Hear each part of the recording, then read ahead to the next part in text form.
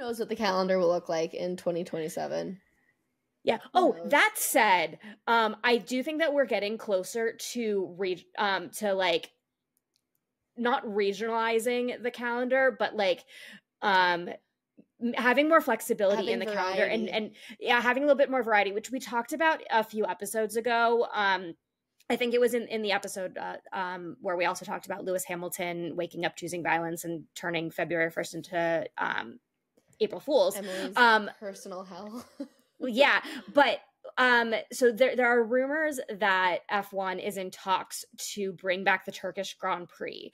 Um, mm. and basically in order to like make these things happen it would have to make a transformation in the formula 1 schedule where some years you go to some races and some years you don't and you'll probably have like a core amount of races that you go to every year like you know Monaco, Australia, Spa, to to name a few potential, you know, Monza um, would be ones that would stick to the calendar. Silverstone, um, but then you know, one year we go to Turkey, one year maybe we go back to Malaysia and Sepang, please.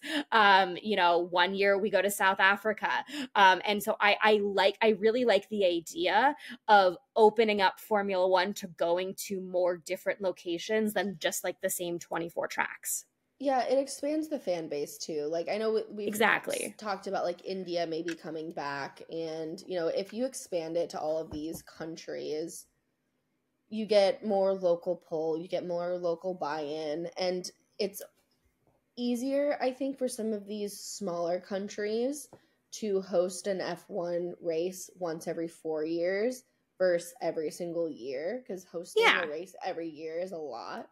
So, like, I know we used to come to Argentina. There was an Argentina Grand Prix a long time ago. Um, and so, some of these other countries who used to host Grand Prix, you know, maybe they get a shot again, and we get to see them race in different places. That makes the season exciting because it's not the same races over and over.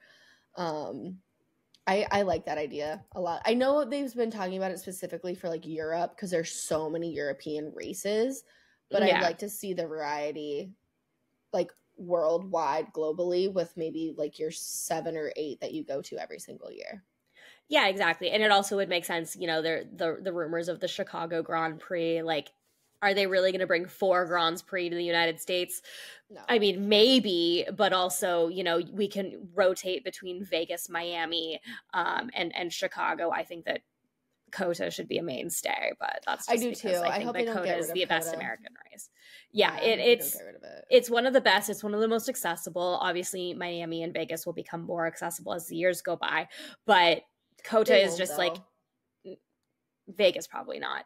Um, but COTA is just like it's the quintessential American race, and it's also the most accessible to American fans. So yeah. it, it it has an important place on the calendar honestly, Mexico City might be more accessible to, to American fans. You're probably not wrong. Um, we'll get there. Yeah, we'll eventually.